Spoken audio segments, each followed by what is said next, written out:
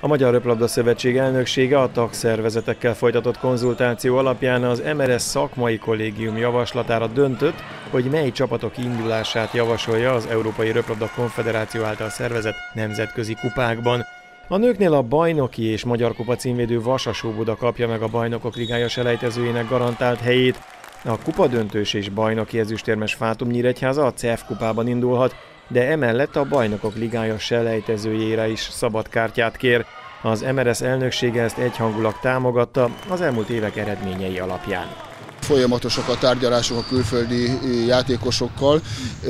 Nyilván nem szeretnék lelőni semmit előre, de komoly játékosokkal tárgyalunk. Én bízom benne, hogy eredményesek lesznek ezek a megbeszélések, és akkor Nyíregyháza közönsége egy olyan csapatot fog látni, ami szerethető, játékos állományba megerősödött, és bízom benne, hogy ez játékban is meg fog nyilvánulni.